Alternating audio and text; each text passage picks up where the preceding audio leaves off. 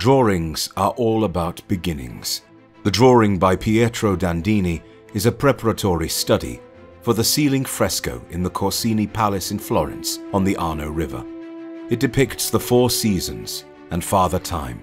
The Corsini coat of arms is prominent, and at the center, there is an angel holding an overflowing cornucopia, indicating bounty and the future successes of the Corsini family.